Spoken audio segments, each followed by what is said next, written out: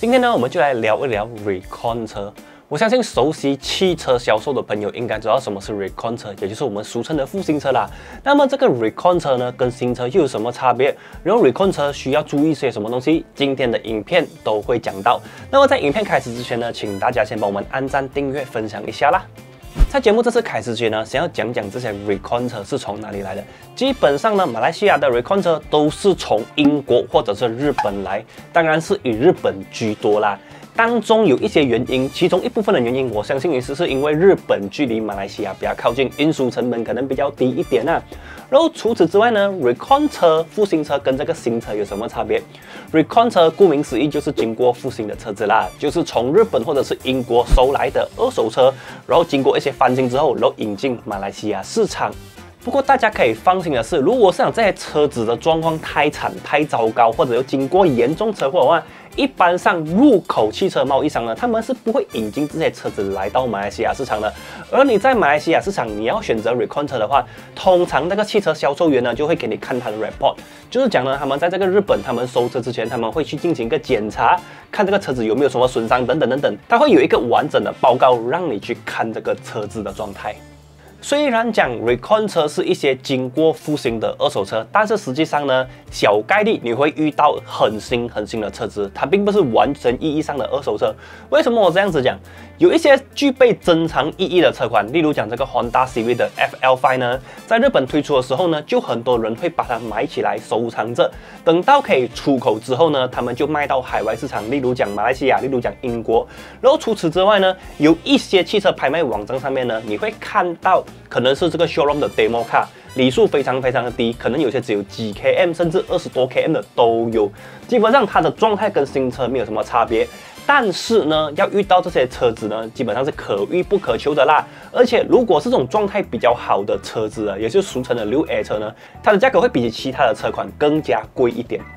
那么是不是谁都可以做 recon 车？其实也不见得啦，因为这些外国的车子要进来马来西亚市场，需要一个东西，那个就是 AP。A P 呢不是谁都有，但是有一些人可能会因为他有一些特殊情况，例如讲他长期滞留国外，所以可能会有机会获得 A P，但是通常只有一张啦，就代表你只可以引进一辆车。而在汽车入口贸易商呢，他们的这个 A P 其实也是有限制的，所以他们每一年可以引进的车子并不多啦，所以这个就是为什么 A P 之所以珍贵的原因。然后如果是讲你要买一辆 Recon 车的话，通常这个入口汽车贸易商他们会在这个日本的汽车拍卖网站找到你要的车，去跟人家竞标。所以你要买一辆旅控车，你要付出的费用包括这个竞标车子的费用、A P 一些税务、运输费，还有这个长长的利润等等。毕竟做生意人家都是要赚钱的，如果没有利润的话，谁要帮你做这些东西，对不对？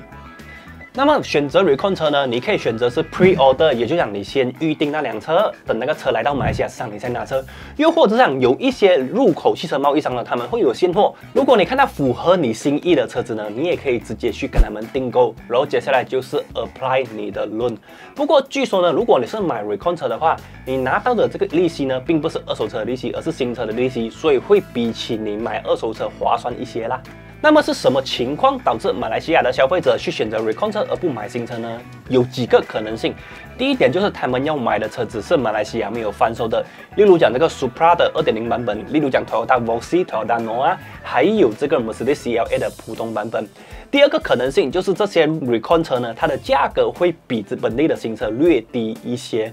然后第三点就是消费者不想去等车等太久，就例如讲这个 Toyota Alpha 跟 New Fire 是很热门的车款嘛，对不对？可是如果你买 UNW Toyota 本地新车的话，这个等候期是非常的长的。但是你买 Recon 的话，那个等待的时间可能缩短一半都不止，所以等不下去的人可能会选择 Recon 车。然后最后一点就是，通常 Recon 车的配备你可以选择比本地新车配备更好的版本。这个是为什么？这个就有时候关于一些商业的东西，所以其实也很难解释了。但是基本上呢，就是 Recon 车你要什么 spec 应该都可以买得到。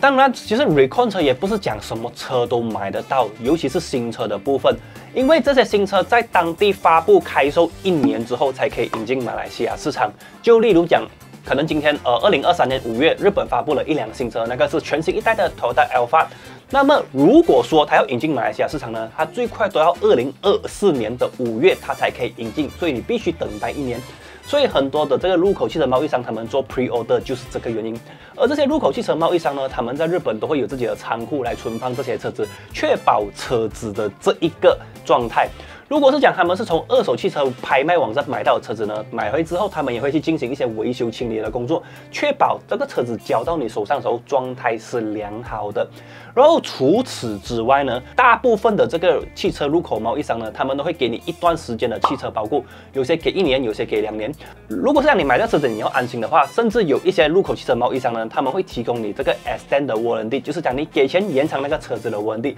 其实这种种种种种都有的啦，所以就看你怎样去选择而已。